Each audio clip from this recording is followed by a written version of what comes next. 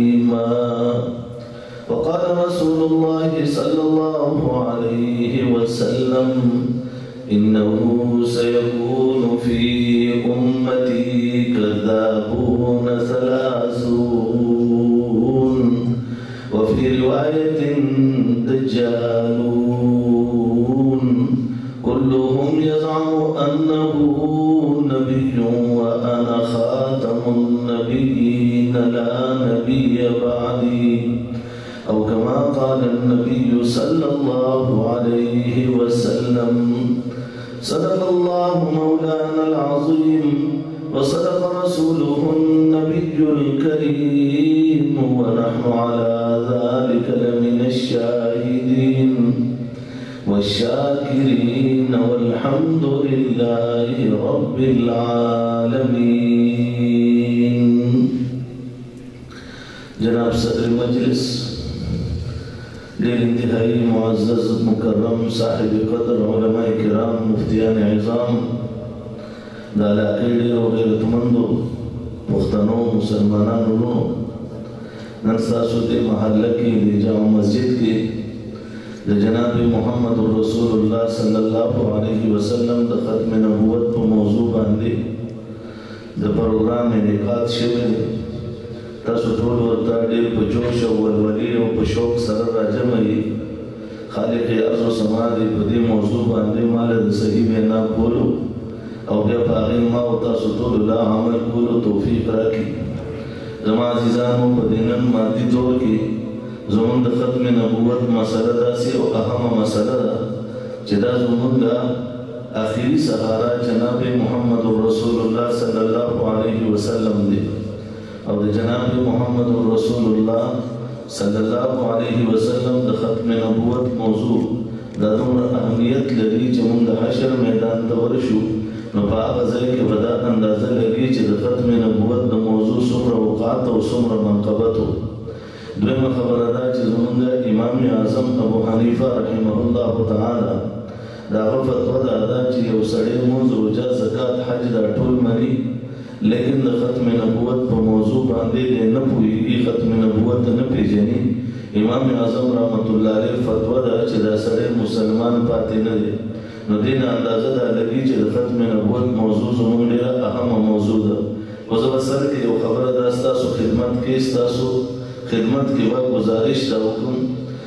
چې کوم سړی هر قسمه سوال کول غواړي ليکن د ختم نبوت د موضوع سره ريليټيډ چې څومره سوالات وي هر قسم سوال د چا په ذهن کې راشي حواله نمبر ذهن کې راشي نو د هغې باقاعده تپوس کولی شي او د موضوع نه هټ کر چې دی هغې کې هېڅ سوال او جواب په دې مجلس کې ځکه مه کوئ چې په دې کې ماته پته نشته چې د چا چا سره تعلق دی څه سره یې تعلق دی. نو هغه د یو سړي د بل سره نه لګي په هغه موضوع باندې هغه سوال وکړي موږ د دې ځای علم نه وي چې د دې یو بل سره د چا لګي یا نه لګي څه وجه ده چې ده دا سوال وکړو نو په هغې کې د یو بل اختلافات په موږ باندې چې راونه تپلی شي دا بهتره وي چې موږ په حیثیت مېلمه مېلمه پاتې شو. زما دا خبره بهتره ده ستاسو خوښه ده کنه د ختم نبوت موضوع چې ده اول به په دې ځان پوهول غواړي چې آیا ختم نبوت وای څه ته او د ختم نبوت عقیده څه ته وای چې کوم د امت مسلمه لپاره یو اهمه فریضه ده مونږ نن سبا دې دور کې تقریبا د څو کالو راهسې په یونیورسټو کې هم تشکیلونه کوو، په کالجز کې هم، په سکولونو کې هم او تقریباً په ټول پاکستان کې، زما خو تقریباً ټول کال په ټول پاکستان کې ګرځېدل وي، هغه کله بلوچستان وي، کله سند وي، کله پنجاب وي، کله کې پي کې وي، کله په دې طرف باندې، کله په دې طرف باندې، لیکن زه هر چاته عقیده ختم نبوت د دې تعریف دا ضرور بیانوم او دغه تعریف بیانولو کې راز دا دی، چې مونږ په تاریخ باندې نه یو پوهه نو د ډاکټر یحیی غوندې انسان به په انټرنیټ باندې راشي په مونږ باندې سوال وکړي مونږ سره بیا د هغې جواب نه وي یا د فیضان ختم نبوت په نوم باندې د قادیانانو پیج نه په مونږ باندې سوال وشي او هغه سوال بیا مونږ سره جواب نه نن ما ته جمعه کې یو سوال راغی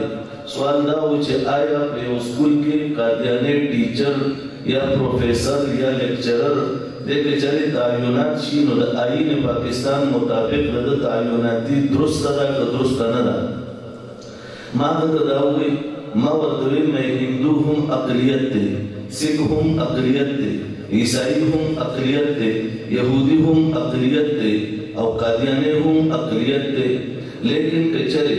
زمونږ مخصوص نشستونه د اسمبلۍ وي نو که په دې باندې څوک ځان سره په مخصوص نشست باندې په دې باندې څوک سک اخلي زمونږ پې اعتراض نه وي که څوک هندو اخلي زمونږ پې اعتراض نه وي که څوک عيسائي اخلي زمونږ پې اعتراض نه وي که يهودي اخلي زمونږ پې اعتراض نه وي خو قاديانې په مخصوص نشست باندې د اقليت په باب کې نشي اغستې وجه به زه اخر کې بيانوم که تاسو ټول پرې پوه یئ نو هله به زه دې ځای نه ځم،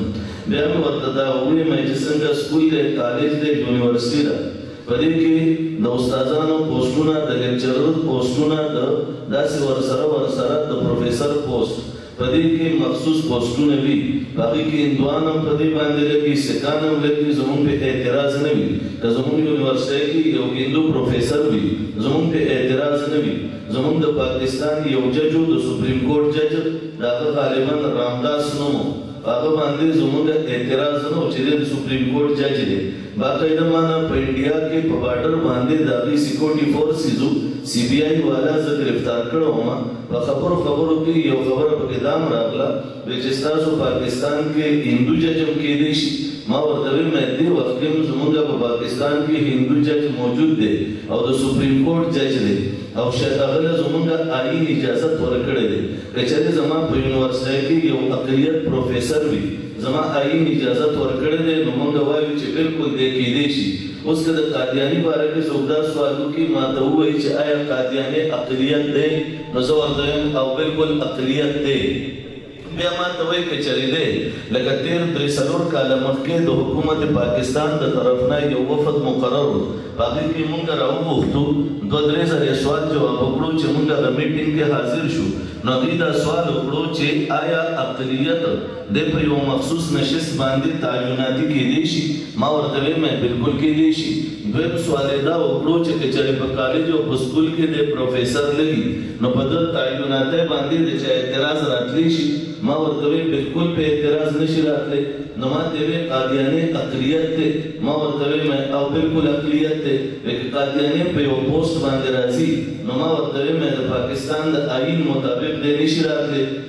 نو ما ته یې ویل ته چې وایې چې د پاکستان آیین کې یو اقلیت راتلی شي او چې نوم د قادیاني راغی نو ته وایې چې قادیانی د پاکستان د آیین مطابق نه شي راتلی؟ ما ورته وې او د آیین وضاحت به درته ان شاء الله تعالی هغه ملا کوي کوم چې د عالمي مجلس تحفظ ختم نبوت سره څه ناڅه تعلق لري ما ورته وې مې تاسو راته دا ووایي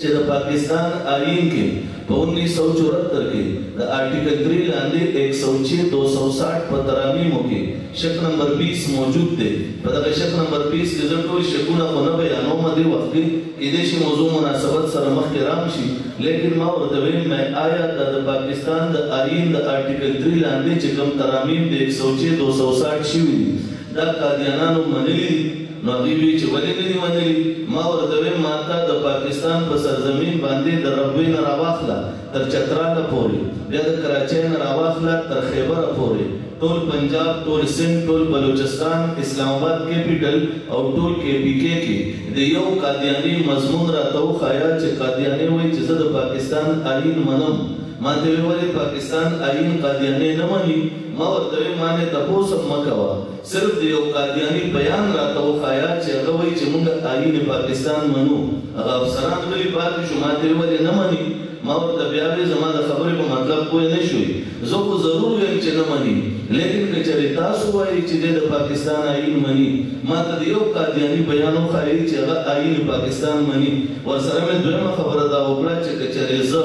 یا په دې مجمع کې څومره دې ځای کې خلک دی په دې کې یو سړي د پاکستان د آیین د یو منټ لپاره انکار وکړو سبب هغه یو ځای کې الټه زوړند دي لیکن قادیانې چې دی هغه د پاکستان د آیین انکار کوي هغه د پاکستان آیین قطعا نه مني زه د قادیانانو هغه درخواستونه خولی شم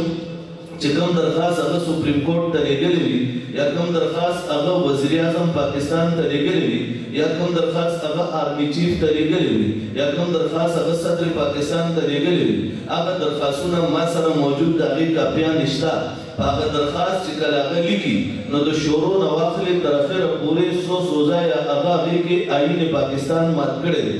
یو خبره دا چې زمونږ په آئین پاکستان کې یو خبره دا موجود ده د آرټیکل تری لاندې، ایک سو چھ، دو سو ساٹھ، په تراميمو کې په شق نمبر بیس کې مضبوطه خبره دا موجوده ده اګر چې په دې خبره باندې به جرح او تنقید وروسته کوو جواب به هم زه کوم ان شاءالله او چې جواب یې ستاسو سمجھ کې رانغی دلته نه به ځم هم نه هغه دا دی چې آئین پاکستان لیکلي دي که چېرې یو قادیاني چاته ووایي چې السلام علیکم نو د پاکستان د انیس سو چوراسی د امتناع قادیانیت آرډیننس دو سوه اټنوی سي لاندې ده ته به درې کاله قید ملاویږي اوس دا اعتراض زما هم و چې آیا یو سړی چاته وایي چې السلام علیکم په هغه هم درې کاله قید ورکړې او دویم قانون په هغې کې یو شق دا هم دی که د اختر په ورځ قادیاني نوې کپړې واچولې نو هم به ده ته درې کاله قید ملاویږي ورپسې دا هم دی که د اختر په لوی اختر کې ده قرباني وکړه نو هم به ده ته درې کاله قید ملاویږي څلورم دا هم که قادیاني د اختر لمونځ وکړو د عامو مسلمانانو په شان د هغې خطبه وویله نو هم به ده ته درې کاله قید ملاویږي ورپسې څلورم دا چې که قادیاني ځان ته مسلمان په هر حیثیت باندې ووې احمدي په حیثیت یې ووې په بل حیثیت یې ووې هم به ده ته درې کاله قید ملاویږي شپږم دا چې که قادیاني خپلې عبادت خانې ته جومات ووې صرف دا لفظ یې ووې چې دا زما جومات دی دا زما مسجد دی د پاکستان آئین د انیس سو چوراسی امتناع قادیانیت آرډیننس دو سو اټھانوے سی لاندې ده ته به درې کاله قید ملاویږي که چرې قادیانی په خپل کور باندې په خپل کتاب باندې په خپله عبادت خانه باندې لا اله الا الله محمد رسول الله ولیکل په دې باندې به هم ده ته درې کاله قید ملاویږي آئین پاکستان موجود دی سټډی کړئ. که چرې یو قادیاني، هغه یو قادیاني، هغه د قران کریم راواغستو چې وې دا زمونږ مذهبي کتاب دی، په دې باندې به هغه ته درې کاله قید ملاویږي، که چرې یو قادیاني خپلې ښځې ته د مرزا ښځې ته ام المومنین ووې په دې به ورته درې کاله قید ملاویږي، که چرې د قادیاني په یو کتاب کې دا عبارت وموندې شو او کتاب پاکستان کې چاپ شوی یا یې قادیانان تقسیموي او په هغې کې لیکلي چې د مرزا غلام احمد صحابه نو په دې باندې به هم ده ته درې کاله قید با مشقت ملاویږي نور زه د آیین نور دفعات در ته خیر نه بیانوم دا یو څو چې ستاسو ذهن کې زما په ذهن کې هم دا خبره پرته وه چې که چېرې مونږ د هندو په لاره تیریږي هغه وایي السلام علیکم یو قول دا دی چې مونږ ورته وعلیکم ویلی شو.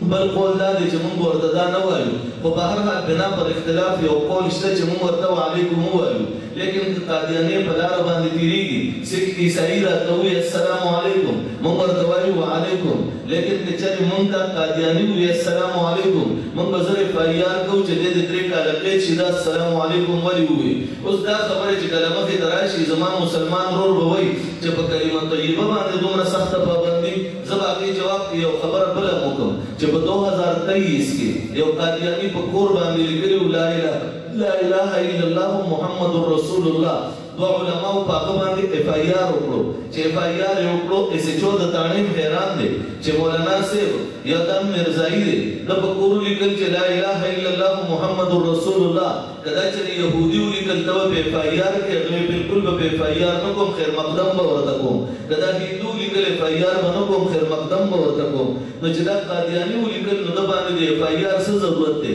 خیر خبره عدالت ته لاړه عدالت کې د مسلمانانو وکیل هم راغی د قادیانانو وکیل هم راغی ستاسو ټولو توجه ده کنه. د چا چا توجه صحیح نشته ولا د چا چا پوره توجه دا غره تلاس شي پوره توجه والا دا سوچت دي دا نشته خیر پاکستان کې چې کله عدالت ته دی لاړل قادیانانو وکیل را پاسېدو هغه خپل سوال کوي د مسلمانانو